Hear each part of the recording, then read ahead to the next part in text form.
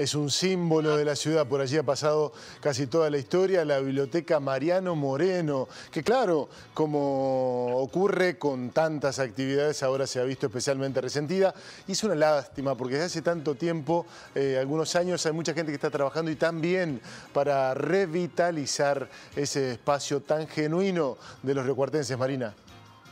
Sí, Pablo, y ha costado mucho trabajo volver a poner en funcionamiento y generar los atractivos. Y bueno, ahora en el contexto de la pandemia y el aislamiento social, la biblioteca nos devuelve otra vez la postal de la desolación. Así luce por estas horas la biblioteca Mariano Moreno que está llamando a sus socios a seguir abonando la cuota que es fundamental. Dispusieron un número de CBU en el Facebook, la página de Facebook de la biblioteca, pero también invitaron a participar de la próxima compra de libros que se va a llevar a cabo en la Feria del Libro en Buenos Aires.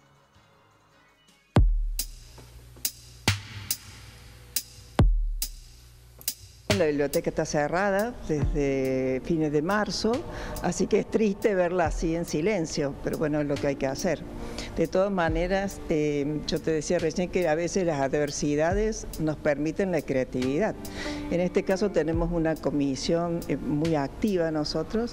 y entonces estamos haciendo toda una campaña de socios a través del Facebook eh, con un formulario para que la gente se haga socia y para aquellos socios puedan pagar la cuota mensual que son 70 pesos a través de nuestra cuenta bancaria del Banco Credit Cop cuyos datos del CBU figura también en Facebook.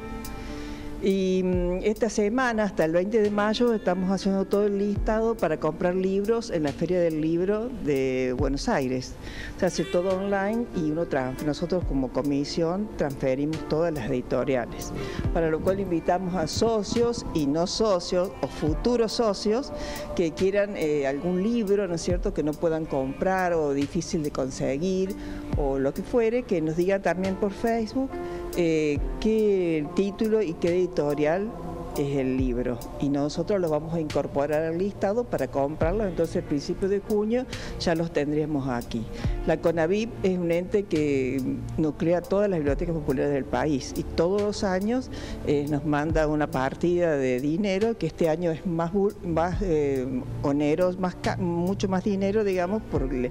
no hay viáticos hacia Buenos Aires, entonces tenemos 52.500 pesos para comprar libros al 50%.